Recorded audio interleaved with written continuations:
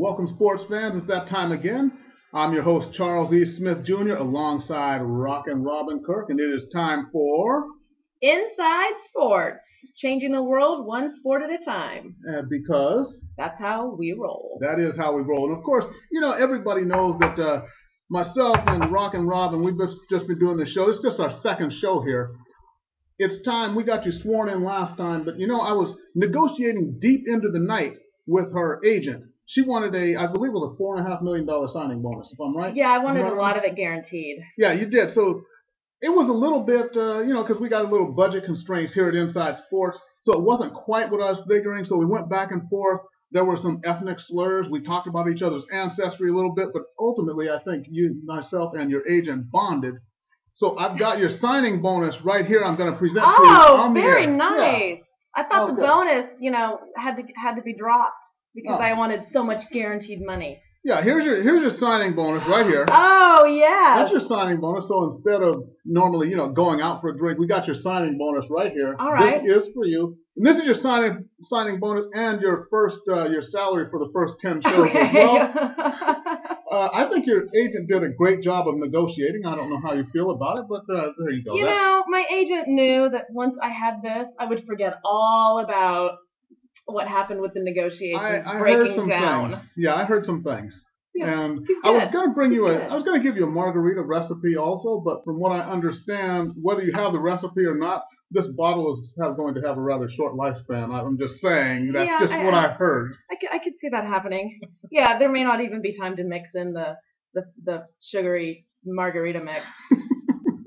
The sweet and sour may or not may not happen, but anyway, you enjoy, and it's a honor and a privilege to have you join Inside Sports. oh, thank you, Charles. I'm really happy to be here. I'm very excited. This is an awesome show, and I think we're going to do some good work together. All right, well, let's get right into it. Of course, this past week, the NHL is in the off season, but we're here in Southern California where the Los Angeles Kings are coming to the forefront with all the moves that they have made, uh, namely signing uh, Mike Richards, uh, signing Simon Gagne. They're going to be reunited as they were in uh, Philadelphia. For all those years. With Got Terry chance to- Murray. exactly, with Terry Murray, with Looking John good. Stevens. Mhm, They just yep.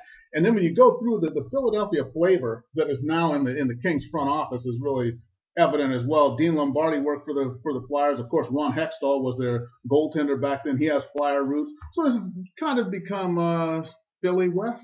Yeah, Yeah. exactly. I like it. I think the Kings are really shaping up nicely, looking good on paper. Hopefully that will translate over to W's when the season starts. But um, right now, looking really good. And Mike Richards is settling in nicely. He's starting to really warm up. He's really happy to be here. So everything's looking good. Exactly. We did an excuse, exclusive interview with Inside Sports uh, and Mike Richards this past uh, just this past Wednesday. We'll have that up on the site at officialinsidesports.com very very soon. Probably be up on Monday. So everybody, all you Kings fans and hockey fans as well, you want to meet Mike Richards. What I like about him is not just his skill level, but what he brings to the table as far as just the, the work ethic Mhm. which is what the Kings are going to need if they're going to get past the toughest teams in the West. Because of course, uh, you look at the San Jose's of the world, the Vancouvers of the world. They're strong in the middle with their. Uh, if you look at their top two centers, you got the Sedins, you got Ryan Kesler in in Vancouver, and then you go to San Jose, and you know you choose a Joe Thornton, Patrick Marleau, uh, Joe Pavelski, Logan Couture, all those guys up the middle. They're going to need Mike Richards to be that second, really, really shutdown guy Yeah. and also to put that pressure on. And I think that's what the Kings need, just to be strong up the middle like that. Yeah, especially with Kopitar coming back after the injury. It's going to be nice to have Richards there as the, kind of the one-two punch for the Kings. Right, and from what I understand, Andre Kopitar, he's ahead of schedule as far as his rehab goes. So he's going to be Mhm. chomping at the bit. He's going to be ready to play. He went down late last season, and now I, I just like I haven't been this excited about the Kings honestly since 1988 All right. when when Robin I think was still in high school. when Wayne Gretzky came to town in August of That's 1998. That was the last time I felt this optimistic and just looking forward this much to the uh, the LA Kings upcoming season. Yeah, definitely. And Mike Richards said he's really excited to be on the other side of uh, of the Kings, you know, of playing the Kings, being in in in the, with the Kings this time, and feeling the energy of the arena. Said it's always such a great arena, such a great fan base. So he's really happy to be here. Mhm. Exciting. Fantastic. And of course, Simon Gagne, he's reunited with him. Yep. Let's go ahead and move down. We got another team here in the Southland, of course, the Anaheim Ducks. And maybe not the depth of the Kings, but when you look at the Ducks, it's hard to find a better first line than what they have. Uh, Ryan Getzlaf centering Mhm. Corey Perry and and Bobby Ryan. Corey Perry, of course, the reigning MVP of the National Hockey League. Yes. He had a fantastic season last year, and uh, he's really excited to, to get going again. He's got some, some great help, and uh, they're also their rookies are looking really good too. Got got a chance to see some of their rookies, and got a good bunch. All right, I do worry about them a little bit. They've got their their grinders, they've got their hard workers. When I look at their second line though, and uh, Saku Koivu, Jason Blake, Teemu Selanne. Selanne is 41 years old Mhm. now. Jason Blake and Saku Koivu are not getting any younger, so maybe it's time to if we could get some more guys up there as far as in Anaheim, just to some more second line type players. Mhm. Because how long can that line stay together? And not to take anything away from them, they're great hockey players, but Father Time. he is a relentless predator, and he is hunting us all. Yep. And speaking of 40, Well, everyone but you. 40 year old. Oh, I'm I'm timeless. I'm timeless. Um, speaking of players in the 40 year range, Kris Draper, worth mentioning, he retired. He's officially retired. He's going to go work in the front office for the Red Wings. Uh, but he had a fantastic, ama- really amazing career. Four cups uh, with the Red Wings, and uh, it'll be interesting to watch him take over, kind of behind the scenes now, see what he does for the Red Wings in Detroit. Exactly. And the other thing is with with uh, Kris Draper, he's one of those guys who he's not going to be in the Hall of Fame. He's not that type of a player. Mhm. But it's almost like the Hall of Fame should have a wing for certain players who maybe are not in the Hall, but they should. The uh, could the Hall of Fame have an honorable mention category? Yeah, could it or could it be like the window of Yeah. fame? Like you almost got in, but you're Right. not quite there. But maybe they just have a special window. They don't give you a, box. they don't give you a bust, but they give you maybe a lithograph of your face Yeah. in the Hall of Fame.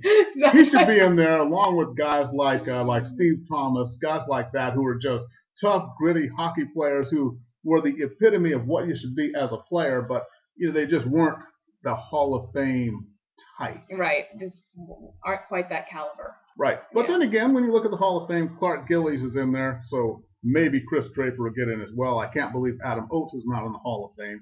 You know what? I could go on that subject forever because a few of the leagues, they've all got uh, some borderline Hall of Famers in there who you think once these guys in get in, it opens up kind of a floodgate for some other guys who were on that level as well. Right, right. Yeah. I think they have to draw that line and just keep it really, really the elite players get in. Otherwise, it could could get a little gray.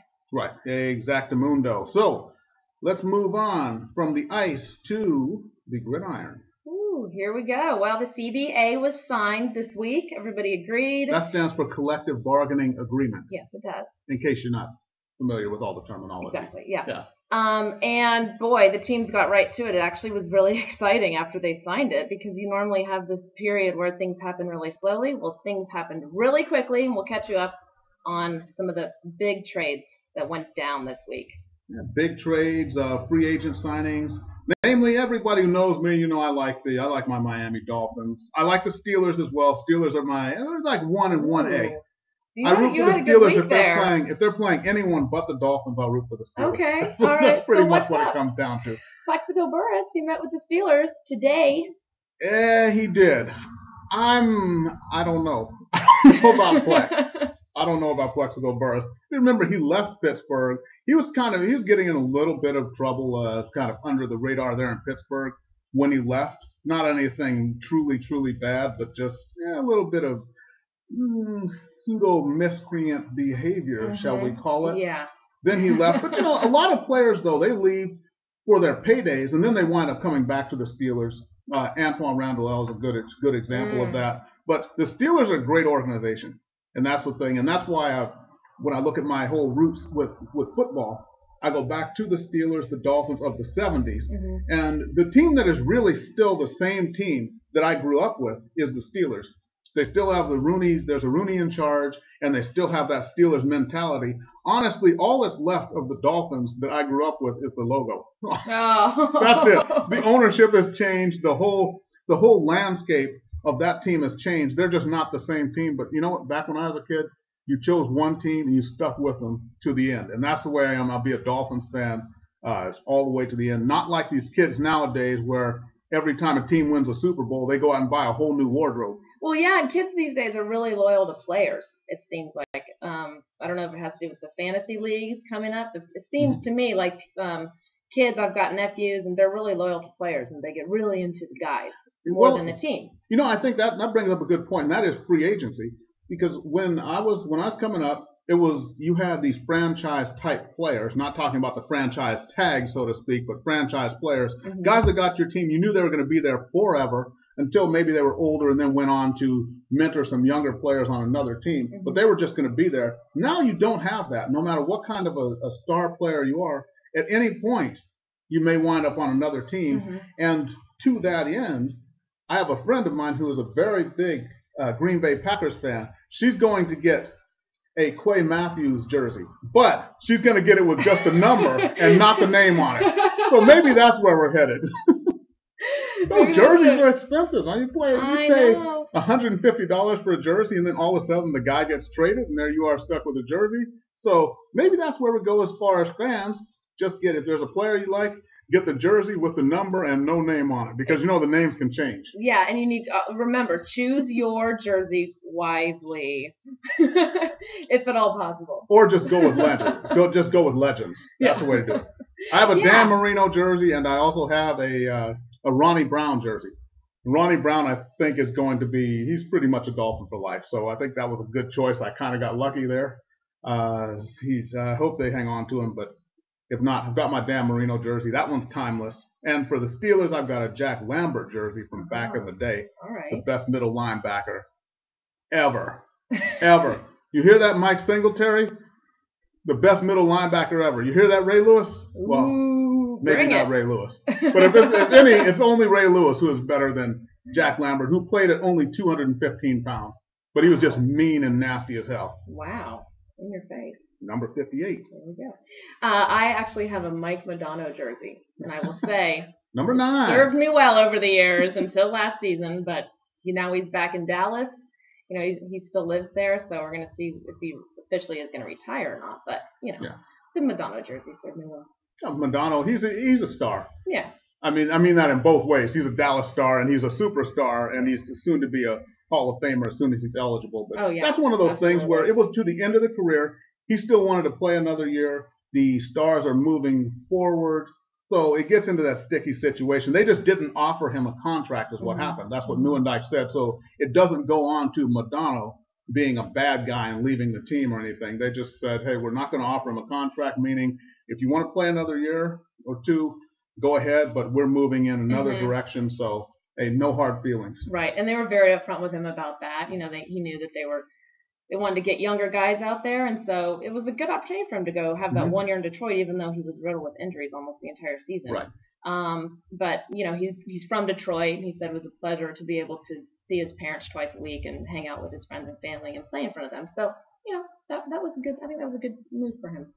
Absolutely. And like I talk about, father time, you know, the same thing with Joe Sakic when he was at the end of his career in Colorado and just kind of hanging on. It's that painful time that we as uh, as sports fans have to see. You know, Wayne Gretzky wearing cement skates when he was skating for the uh, Mhm. New York Rangers. And was he? Did he actually play for St. Louis? I don't think that really happened. Uh, Gretzky, he played for Edmonton and he played for Los Angeles. That's that's it. That's what I remember of Wayne Gretzky. I refuse to acknowledge anything else.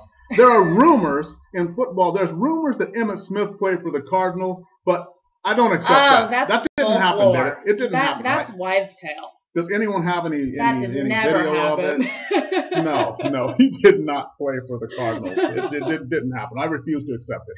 Where did you find that in like the Internet Archive? I think it was like on old, Deadspin old and untrue or something. I think it was on Deadspin. One of those unconfirmed uh, websites. They said Emmitt Smith as a Cardinal. I don't know. I think it was photoshopped. I, Well, it must have been. yeah. Had to be. Well, speaking of uh, retired players trying to make a comeback, maybe we should touch on Tiki Barber. Find it interesting. Eli Manning said he would much rather play with Plaxico Burress over Tiki Barber. So I guess you take the criminal over the adulterer. Well, Is that what we're saying? I think I'll say this for Plaxico Burress. Just remember, he's more of a knucklehead than a criminal because Mm-hmm. yeah. he just.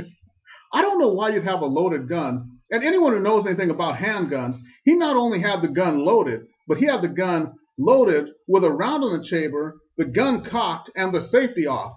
What was he expecting when he walked into that nightclub? Even if you're going to carry a gun, which I don't recommend, still, the main thing is you got to have the safety on the gun. And if not, why would you have a round in the chamber? I don't, I don't get it. Yeah, he he, you know, hate to say it, but he did dodge a bullet with how that came out because somebody could have been killed. Yeah, You know, for how how lax he was with his gun yeah, that either that or he could have shot himself through the sack if he wasn't, Yeah, exactly. he wasn't careful. Game over. Oh, he's already got a couple of kids, so I guess it wouldn't matter. oh, he's off that. And speaking of a couple of kids, you know, over in the in the uh, other side of New York, there, the New York Jets. They were supposed to get, you know, their her whole thing was getting to the Super Bowl. Darrelle Revis, Revis Mhm. Island, Antonio Cromartie on the on the right side. Cromartie, he's left the Eagles, or excuse me, the the Jets now. So, speaking of kids, as you know, he's got, I think it's six kids by five women in oh four different states. Wait, is this the NBA or the? No, not Shawn Kemp. Talking about. Not Shawn Kemp, Hmm. but he does get the Shawn Kemp the Pimp Award. wow. for baby mamas How out many? there. How many does Shawn Kemp have? Uh, it's around eight or nine that confirmed. Oh then there's some gosh. rumors. Rumors out there, yeah. Wow. Yeah. You don't have one Shawn Kemp's kids, do you? Not that I've been notified yet. nope. Okay. Well, you know, and one other thing, there's an elephant in the room, and not you, not you, but an elephant in the room in the NFL, and that is when I, I talk about the marketing of the NFL. And there was a time when they looked at players, and really, you got they talked about players in an honest manner. Now it's more about promoting players and promoting the game as though a player is a star all the time, just to have people watch. They they hype it up. Donovan McNabb is one, and the other is Peyton Manning. Now let's touch on McNabb first. They talk about McNabb. He's going to the Vikings now, uh, getting veteran leadership, all these years, all this experience. Did anyone watch McNabb play last year? Did anyone see that? Anyone? What did the Redskins win? Five I saw him on the bench. I saw him heading to the bench. Right. They played. The Did they win five games last year? And McNabb was benched for three games. Yeah. And then he goes to the Vikings, and they talk about that as though they're getting a good deal. Well, please, please, the Eagles sent him to a division rival, Mm-hmm. and I think that was a plan to sink the Redskins. Is what they did. They sunk a division rival by giving them their uh, lame duck quarterback. So that's it with McNabb. Now the other, we got to address it. And you know, even though I think he, he's a heck of a nice guy, he's talented as all hell, but Peyton Manning. At some point, he's got to be held accountable for all these playoff failures. And he's not on a weak team where they're getting in at maybe nine and seven or or ten and six last week of the season. He's winning 12, 13, 14. They won 15 games a couple of seasons ago. hmm But they're winning all the time. He's got the team to win. They get in the playoffs, and he's going belly up. 2007, he gets outdueled by Philip Rivers at home. Philip Rivers is on one leg, still beats him. The Super Bowl. He throws a pick six, the most egregious pick six in the history of Super Bowls. And I watched I watched Neil O'Donnell play in the Super Bowl, so I've seen some bad quarterbacking. But he's got one ring, and what happened with that one ring when they finally got there, all he did was hand the ball off to Joseph Addai and Dominique Rhodes, and then he goes and picks up the MVP trophy somehow. And then even last season against Mark Sanchez, he can't get it done again. Mhm. Manning, a good regular season, great regular season quarterback. But when the chips are down and you really need to stop him, he cannot get it done in the playoffs. And that's where you really make your name is in the playoffs. It's one thing to be on a good team, but you've got to get it done when it counts. And all the evidence is pointing to Peyton Manning not getting it done. He has a sub 500 playoff record. In fact, he has the worst playoff winning percentage of any Super Bowl winning quarterback Wow. in history. And I'm including Trent Dilfer, Brad Johnson, and Mark Rypien In history. in history. Wow. Yes. Wow. Why isn't that ever talked about? So his perception is different than his reality. Exactly, Hmm. exactly. And perception can be reality if you don't watch shows like this where we bring it to you straight. Because the NFL, they're not they're not paying me. They're not paying me to uh, hype up somebody like Peyton Manning Just like you got the hype machine that's going to go this year for the Eagles Mhm. because they landed uh, the prize free agent cornerback Yeah. who was. Asomugha. Say it again. Asomugha. First name. Uh, n- how do you pronounce it? N- n- Nag Nagni. Nnamdi Asomugha. Namni. That's right. Right. And then they've got Asante Samuel back there. So they're stacked on defense, but I look at their other side of the ball. Mike going to get to a Super Bowl with Michael Vick? Really? No, you're going to get ESPN highlights with Michael Vick. Mhm. You're not going to get to a Super Bowl with Michael Vick. One thing about the Eagles, players are very drawn to the Eagles, and a lot of it seems to be Andy Reid. What? It seems. I mean, he's obviously a very talented coach, but it seems. What my perception is that they also just want to work for him because he's a great guy. It could be. I mean, obviously they That could be. they have to a- go for his talents, but there's something that seems to be about Andy Reid that people are really drawn to him, and I think it goes probably beyond his coaching. Right. Well, and that gets around because a lot of players, remember, a lot of players, they go to college together, even though they wind up on different teams, they keep them in contact. So Mhm. you have players for the Eagles who maybe have friends on other teams. So it gets circulated around which guys are players, coaches, so to speak, hmm and which guys are not. So I think Andy Reid does have that that type of a reputation. So people kind of want to go there. Also, in this era of free agency, people kind of uh, they say, "Well, I needed a change. I like this city. I like that city." You know, you look at the contract they signed, and probably that had a lot to do with Oh it. yeah, for sure. Yeah, if, if your city is willing to pay me ten million dollars a year, and my city only wants to pay me five million dollars a year, I might tend to like your city a little bit better. yeah, I can ring I'd that go there and Liberty say, yeah, Bell. I can, I can get, uh, I can get used to this. Yeah, Yeah. of course. Money talk, Exactly. we all And know. we don't have to talk about what walks, right? Yeah, exactly. you can take that one, Charles. Yeah, exactly. And uh, but getting back to uh, quarterbacks, though, some a couple of my prove it to me quarterbacks for this year. Uh, Joe Flacco is one in the AFC, and Matt Ryan is the other in the NFC. We can talk about Tony Romo in just a moment here, but yeah. Joe Flacco, the 12 and 4 with the Ravens last year, and then when the chips were down, though, against the Steelers, 126 yards of total offense. I don't mean passing yards. I mean through the air, on the ground, and everything. That 126 yards. They get whooped by the Steelers. Matt Ryan, 13 and 3. Matty Ice, as he's called. But I have seen the ice melt. The ice does melt in big games he's in. And they go 13 and 3 last year. They get into the playoffs, get beat 48 to 21 at home against Green Bay. Those are two young fellows who it's prove it to me time. We know you can win a lot of games. We know you got the talent, but do you have the strength to get it done when it counts? Or are you going to wind up in Peyton Manningville? Tony Romoville. Tony Romoville. Talk to me. You're a Dallas gal, Dallas I fan. am. I'm a Dallas You love your fan. Mavericks. You love your Cowboys. Yes, yes. Your. Cowboys. And as Jerry Jones said, as a team, we stunk it up this year. Yeah, he did. Did they stink it up last year? Uh, I mean, There was a foul odor drifting Yeah, I mean, it's, from the suburbs. it's just kind of how the trend has been the last few years with the Cowboys. You know, they just really exciting during the regular season, and then the playoffs come and they just tank. And I think that as a quarterback, you have responsibility to to be the leader on your team, and I just think Tony Romo doesn't play with the same kind of heart and passion that some of the really great quarterbacks have over the years. And I can't help but uh, kind of pinpoint the team's demise to Tony Romo's kind of lack of passion. Hmm. He it kind of uh, they seem my perception is that they seem to be just happy to make the playoffs. Let's go all the way, guys. Come on. Well, I, I think one of the things, and, and this was last year, some of the former Cowboy players, the greats, were there. The from the '90s teams, the Emmitt Smiths and uh, of the world, and Troy Aikmans and things like that. And they were saying that when it comes down to it, with this team, they like being superstars, they like the glamour, but when it comes time to really get it done and earn their money, they don't want to do it. Right. So you got to get in the trenches. It's one thing to be a glamour team, but there's a lot of dirty work that's done. Dirty, sweaty, ugly, make you sore for a week type of work. Mm-hmm. And it seems that they don't really want to do those type of things, which is what will will put them over the to the next level. And that's what you have to do as the season wears on. you're getting more and more injured every week. And but the most important games are coming up, so that's the time when you really got to suck it up and get it done. And I just look at when I look at both sides of the ball.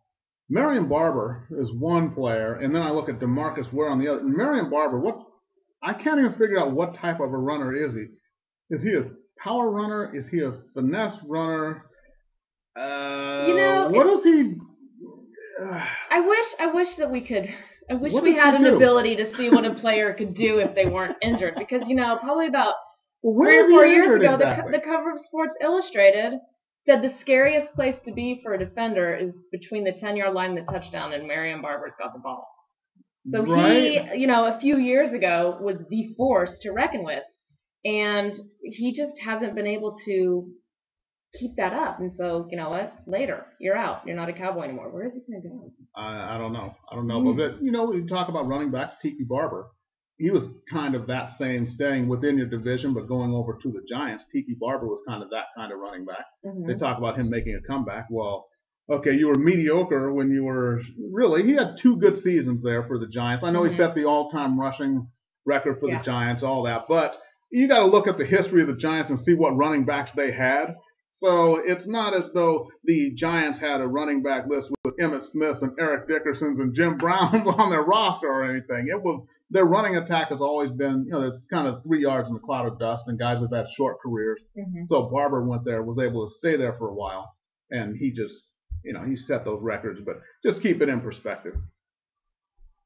And getting back to your Cowboys, though, Tony Romo one side, but on the other side, I look at Demarcus Ware, and I've, I've defended him to people many times because I think he's a great player. He's a very, very talented player. But, you know, they say he puts up a lot of his stats when it doesn't really matter.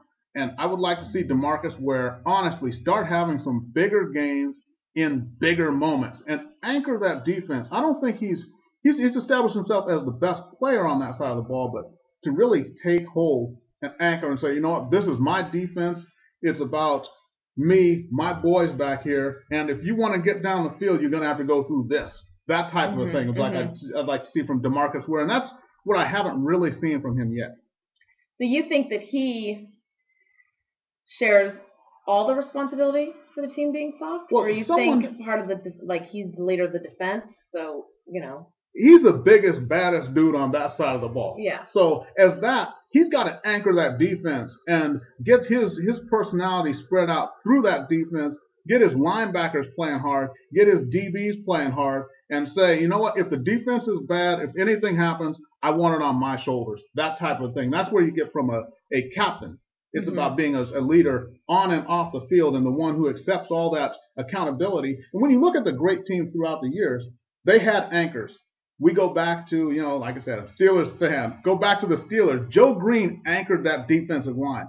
Then you had Ham and Lambert anchoring those linebackers. You have Mel Blount in that defensive backfield. And those were the guys who accepted that accountability and were just willing to say, you know, don't you're not getting past this point. The buck stops here.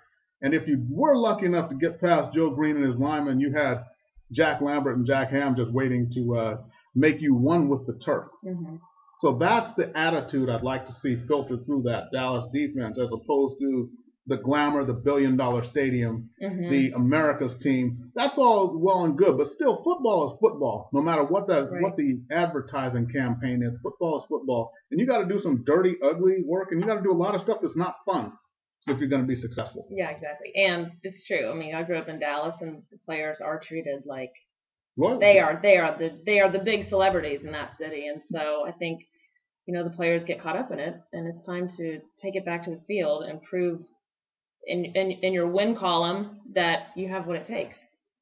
Yeah. Very good. Okay, let's get ready to wrap things up here. Just a few other things. You, might want, you know what? Detroit Lions. I, I don't normally talk about the Lions unless there's a punchline at the end of it. But I look at the Detroit Lions. Hey, Ndamukong Suh on the front line, and now Nick Fairley out of Auburn, hmm who was a beast. Nick Fairley, and I know it's a different level, it's at the college level, but he was really responsible for Auburn beating us, beating Oregon in that in that championship game. They could not get him blocked all day. He's a beast. And if they come in with bookends like Ndamukong Suh and Nick Fairley, hey, the Lions are going to be nothing nice on defense. It's going to be really tough to move the ball against them. But they're going to have to also They have to make move the their ball offense. themselves. Yeah, they've got to do some things on offense, obviously. And if Matt Stafford can stay healthy for more than a game and a half at a time, then maybe, just maybe, they can do something. It's Calvin Johnson's a great receiver, uh, Megatron as he's called, great receiver, but still, they need a, a quarterback, and that's you know that's it. Like I said, when Yeah. they drafted Matt Stafford, uh, the GM said, "Well, I think it's about time we we replace Bobby Layne." Wow. look at the look at the quarterbacks over the year; they've been horrible. I know, I know. They have been horrible. So we always go a half hour here. We're just about done. Rockin' Robin. What have you anything to say to the fans here? Well, I'm really excited about the upcoming season. Uh, we're ready for the, the NFL to get going. We also we're going to touch on college ball, but we run out of time. So maybe the next College show ball. we'll I talk was about at, some Pac-12. well, right. I was at Pac-12 Media today, Media Day, and you know, talked with USC, UCLA, also uh, Oregon, Oregon State, Washington, Washington State, new teams, uh, Mhm. Utah and Colorado. Yeah. We interviewed some of the players and coaches. We'll have that available on officialinsidesports.com, and also we'll talk about that as their season uh, draws nigh. So we're, we're keeping everyone on the edge, uh, whether it be hockey, whether it be NFL, whether it be the NCAA football. We'll even talk. There used to be a basketball league called the NBA, and there's a your, your Dallas Mavericks won a championship, and then they just the whole league just rode off into the sunset. Yeah. I think that's going to get ugly. That when I look at the cuts they want to have made, and that is the owners wanting a, a hard cap, the amount of salary they want to trim off the whole thing, trimming that amount of fat off. Mhm. I think it's going to be really, uh, it could get long, drawn out, and ugly, and we'll have less of the than the 50 game season we had in the 98 Mhm. 99 season. So. Yeah, It could get far ugly. apart right now, so they've got some work to do. And it doesn't help. I wonder if it helps or doesn't help that a lot of players already were making plans to go play in Europe when they saw this coming. hmm There've been there's players that have planned for two or three years because they knew that nothing was going to get done, so they're making deals to go play in Europe while this lockout is happening. And I'd say with a player as a player, it makes a strike or a lockout a lot more palatable if you can go ahead and make uh, three million dollars a year while you're unemployed. Yeah. Oh, absolutely. Take that every day of the week. yeah.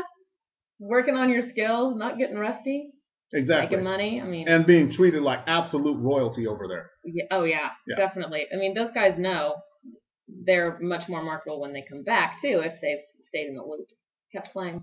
Exactamundo. All right, everybody. So that's it from here in our lavish Inside Sports studio. I can see the uh, champagne and caviar over there, the strawberries, and is that a lobster tail? It is. yeah, yeah. It is, yeah. Our maitre Alright. d' is holding our lobster tail over there, All getting right. ready to serve us. Very good, very good. All right, everybody. I'm Charles E. Smith Jr. This is Robin Kirk, aka CDog, and Rockin' Robin. The show, of course, is Inside Sports, All right. changing the world one sport at a time. because That's how we roll. we'll see you all next week. Bye.